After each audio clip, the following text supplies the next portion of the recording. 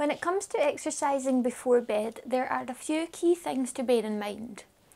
For example, vigorous exercises like running or cycling have been found in research to hinder our ability to fall asleep and also stay asleep when practiced one hour before bed.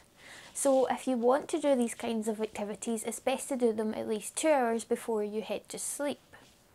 However, other forms of exercise have a more positive impact on our sleep patterns. And yoga, for example, can help to relax the body and actually prepare it for sleep. So this may be a better option to do in the lead up to going to bed. If you want to find out more on this topic, just check out my blog below.